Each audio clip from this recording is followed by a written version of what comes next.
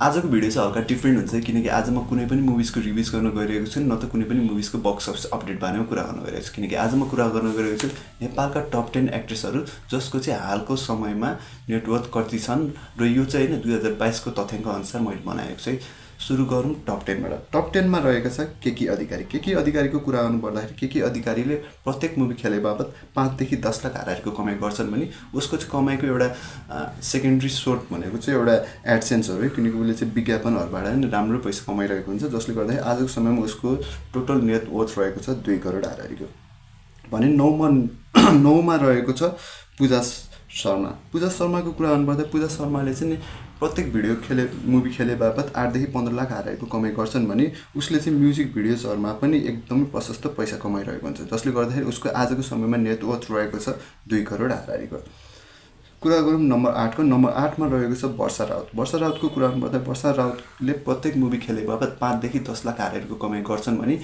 उसको आजको समयमा नेटवर्थको कुरा गर्नुपर्दा उसको आजको समयमा नेटवर्थ लगभग पाँच करोड हारारीको छ है।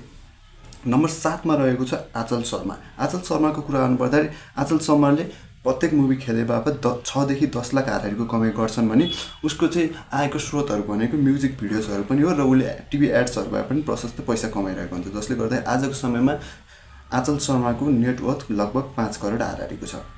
नम्बर छको कुरा गर्नुपर्दा नम्बर छमा रहेको छ नम्रता श्रेष्ठ। है नम्रता श्रेष्ठको कुरा गर्नुपर्दाखेरि नम्रता श्रेष्ठको प्रत्येक मुभी खेले बापत उसले चाहिँ पाँचदेखि बाह्र लाखसम्मको पारिश्रमिक पाउँछन् भने आजको समयमा नम्रता श्रेष्ठको कुल नेटवर्थ चाहिँ लगभग छ करोड बराबर छ है। भने नम्बर पाँच पाँचमा रहेको छ सम्राज्ञी राज्य लक्ष्मी शाह। सम्राज्ञी राज्य राज्य लक्ष्मी शाहको कुरा गर्नुपर्दा उसले चाहिँ प्रत्येक मुभी खेले बापत दसदेखि बिस लाख हारेको कमाइ गर्छन् भने उसको चाहिँ एउटा मुख्य आएको स्रोत भनेको चाहिँ टिभी एड्सहरू हो है। किनकि टिभी एड्स र उसले एउटा ब्रान्ड इन्भेस्टमेन्ट पनि गरिरहेको हुन्छ जसले गर्दाखेरि उसको चाहिँ आजको समयमा नेटवर्थ रहेको छदेखि आठ करोड हारारीको नम्बर चारको कुरा गर्नुपर्दा नम्बर चारमा रहेको छ प्रियङ्का कार्की। प्रियङ्का कार्कीले आजको समयमा एउटा मुभी खेले बापत सातदेखि पन्ध्र लाख हारारीको पारिश्रमिक लिन्छन् भने उसको नेटवर्थको कुरा गर्नुपर्दा आजको समयमा उसको नेटवर्थ दस करोड बराबर छ।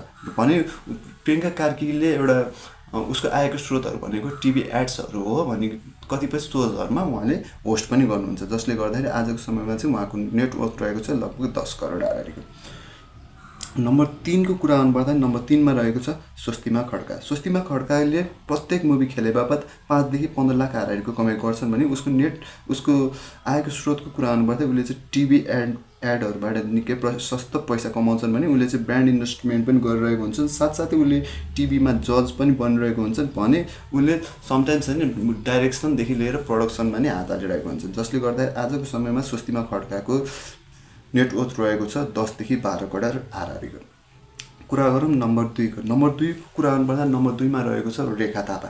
रेखा थापाको कुरा गर्नुपर्दा रेखा थापाले आजको समयमा एउटा मुभी खेले बापत छदेखि दस लाख हारेरको कमाइ गर्छन् भने रेखा थापाले चाहिँ एउटा डाइरेक्सनमा चाहिँ धेरैवटा मुभिजहरू बनाएका छन् जसले गर्दा डाइरेक्सन र प्रडक्सनबाट पनि एकदमै पैसा कमाउँछन् भने आजको समयमा उहाँको नेट वर्थको कुरा गर्नुपर्दै उहाँको नेट वर्थ रहेको छ पच्चिस करोड हारारीको।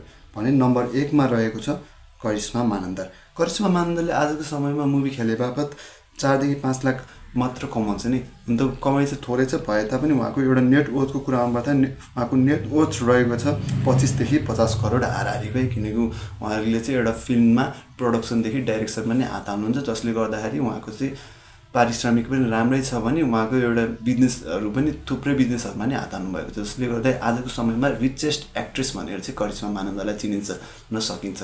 साथीहरू तपाईँहरूलाई चाहिँ नि यस्तो खालको कन्टेन्ट चाहिँ कतिको मनपर्छ या मन पर्दैन यदि मनपर्छ भने म यस्तै खालको कन्टेन्टहरू लिएर आउनु लिएर आउने छु होइन? त्यसको लागि चाहिँ एकचोटि भए पनि कमेन्ट चाहिँ गरिदिनु होला है। र तपाईँको कमेन्टको चाहिँ म प्रतिक्रिया अवश्य दिनेछु है। र यसरी नै फर्दर मुभी रिभ्युज र बक्स अफिस अपडेटको लागि चाहिँ मेरो यस च्यानललाई सब्सक्राइब गरिदिइराख्नु किनकि म यस्तै खालको कन्टेन्टहरू लिएर आउने गर्छु। Till then take care and bye